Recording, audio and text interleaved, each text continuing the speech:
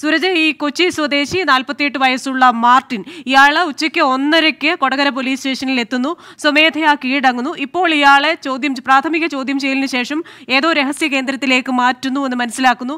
അവിടെ സംഭവിച്ചതെന്താണ് കൃഷിന ഈ കീഴടങ്ങലുമായി ബന്ധപ്പെട്ടുകൊണ്ട് സുപ്രധാന വിവരങ്ങളാണ് നമുക്ക് ലഭിച്ചിരിക്കുന്നത്. ഇന്ന് ഒന്നരക്കാണ് ഈ മാർട്ടിൻ ആദ്യം ഈ കൊടകര സ്റ്റേഷനിൽ എത്തുന്നത് ആ സമയത്ത് അവിടെ എത്തുന്ന വേളയിൽ ഈ മറ്റൊരു കേസുമായി ബന്ധപ്പെട്ടുകൊണ്ട് കുറച്ച് ആവലാതിക്കാർ ഈ പുറത്ത് സ്റ്റേഷനിൽ കാത്തു നിൽക്കുന്നു നിൽക്കുന്നുണ്ടായിരുന്നു. ഇവരോടൊപ്പമാണ് ആദ്യ ആദ്യ സമയങ്ങളിൽ മാർട്ടിൻ നിന്നത്. പിന്നാലെ പോലീസിനോട് ഈ ആവലാതിക്കാർ പോയതിനു ശേഷം മാർട്ടിൻ അവിടെ എത്തുന്നു. പോലീസ് ഈ പോലീസ് സ്റ്റേഷനിൽ എത്തുന്നു.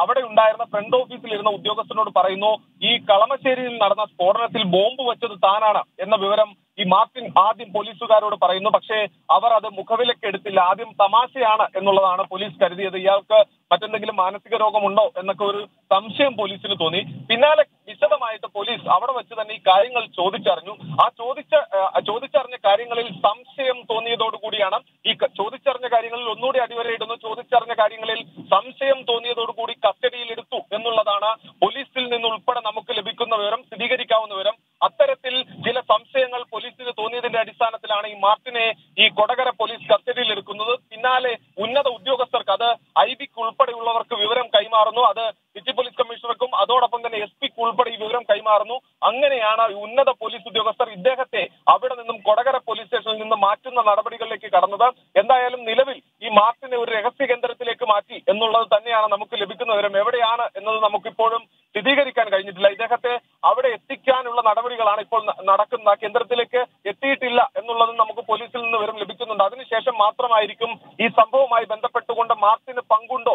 എത്തരത്തിലുള്ള എങ്ങനെയാണ് ഇതിൽ ഇൻവോൾവ് ആയത് എന്നത് ഉൾപ്പെടെ സ്ഥിരീകരിക്കേണ്ടതുണ്ട്. ഈ മാർട്ടിൻ പറഞ്ഞ വാചകങ്ങളുടെ അതായത് തനിക്ക് താനാണ് ബോംബ് വെച്ചത് എന്നുള്ളതാണ് മാർട്ടിൻ പറഞ്ഞത്. അത് സ്ഥിരീകരിക്കാൻ കഴിയാവുന്ന സ്റ്റേറ്റ്മെന്റ് ആണോ എന്നതിൽ ഉൾപ്പെടെ വ്യക്തത വരണമെങ്കിൽ വിശദമായ ചോദ്യം ചെയ്യൽ നടക്കേണ്ടതുണ്ട്.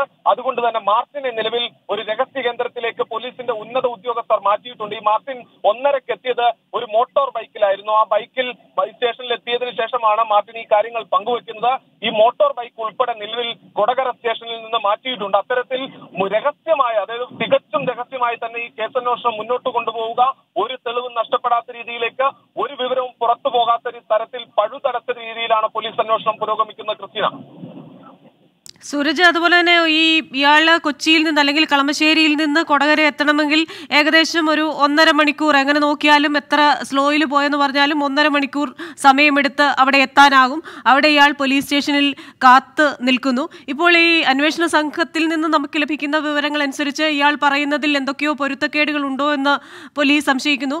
ഇതുമായി ബന്ധപ്പെട്ട ആദ്യം വന്ന വാർത്തകളിൽ ഒന്നായിരുന്നല്ലോ മാനസിക വെല്ലുവിളിയുള്ള ഒരാളെ തലേ ദിവസം അവിടെ നിന്ന് പുറത്താക്കിയിരുന്നു എന്ന തരത്തിൽ വാർത്തകൾ വന്നിരുന്നല്ലോ. ഇപ്പോൾ ഇയാളെ ചോദ്യം ചെയ്യലിൽ സംശയം തോന്നിയതിന്റെ പേരിലാണ് രഹസ്യ കേന്ദ്രത്തിലേക്ക് മാറ്റിയതെന്നും പറയുന്നു. അപ്പോൾ ഈ ചോദ്യം ചെയ്യലിൽ എന്തൊക്കെയോ സംശയാസ്പദമായ കാര്യങ്ങൾ സംഭവിച്ചിട്ടുണ്ട്. അത് കൂടുതൽ ചോദിച്ചറിയുന്നതിനും അത് കൃത്യമായി രഹസ്യാത്മകമാക്കുന്നതിനും വേണ്ടിയല്ലേ ബൈക്ക് അടക്കം അവിടെ മാറ്റിയത്? കൃഷിയുടെ അത്തരത്തിൽ തന്നെയാണ് ഇയാൾ പറഞ്ഞ കാര്യങ്ങളിൽ വലിയ പൊരുത്തക്കേട്. അത് ഈ പോലീസിന് തോന്നി. ആ പൊരുത്തക്കേടുകളുടെ പേരിലാണ് ഇയാളെ ഈ പോലീസ് കസ്റ്റഡിയിൽ എടുക്കുന്ന നടപടികളിലേക്ക് കടന്നത്. ഉന്നത ഉദ്യോഗസ്ഥർക്ക് ഈ കൊടകര എസ് എച്ച്ഒ വിവരം കൈമാറുന്നു ഇങ്ങനെ ഒരാൾ സ്റ്റേഷനിലെത്തി കീഴടങ്ങിയിട്ടുണ്ട്. എന്ന വിവരം കൈമാറുന്നു അയാളെ പ്രാഥമികമായി ചോദ്യം ചെയ്തതിൽ നിന്ന് ഇത്തരത്തിൽ പൊരുത്തക്കേടായി തോന്നുന്ന അല്ലെങ്കിൽ ഈ സംശയം തോന്നുന്ന പല കാര്യങ്ങളും തോന്നി എന്നുള്ളതാണ് ഇവർ പറയുന്നത്. അതിനാലാണ് ഇദ്ദേഹത്തെ പോലീസ് കസ്റ്റഡിയിൽ എടുക്കുന്നത് പിന്നീട് ഉന്നത ഉദ്യോഗസ്ഥർക്ക് ഈ വിവരം കൈമാറുന്നു. ആ വിവരത്തിന്റെ അടിസ്ഥാനത്തിലാണ് ഇദ്ദേഹത്തെ രഹസ്യ കേന്ദ്രത്തിലേക്ക് മാറ്റുക എന്നൊരു നിലപാടിലേക്ക് പോലീസ് എത്തിയത്.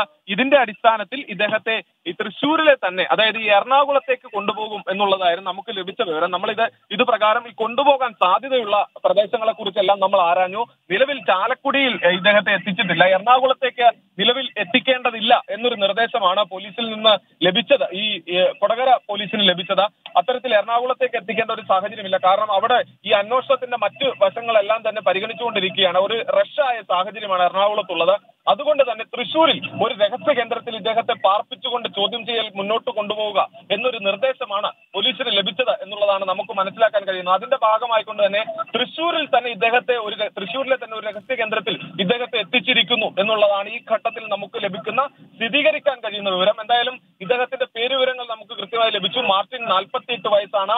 കൊച്ചി സ്വദേശിയാണ്.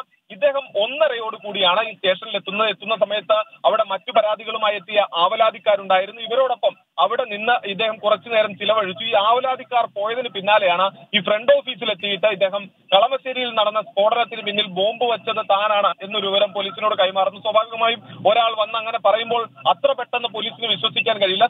ഇവർ തമാശയാണ് എന്ന് കരുതി പിന്നീട് വിവരങ്ങൾ ചോദിച്ചു. ഈ ചോദിച്ചതിൽ നിന്നും വിശദമായി ചോദ്യം ചെയ്തതിൽ നിന്നുമെല്ലാം ഈ പറഞ്ഞ കാര്യങ്ങളിൽ പലതും പൊരുത്തക്കേടും അതോടൊപ്പം തന്നെ ഈ കേസുമായി ബന്ധിപ്പിക്കാൻ കഴിയുന്ന കാര്യങ്ങളും ഇദ്ദേഹം പറഞ്ഞു എന്നുള്ളതാണ് മനസ്സിലാക്കാൻ കഴിയുന്നത്.